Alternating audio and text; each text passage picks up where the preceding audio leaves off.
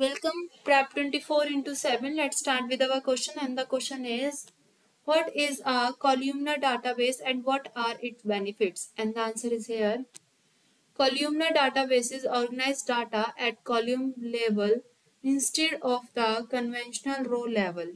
All column level operations will be much faster and consume less resources when compared to a row level relational database.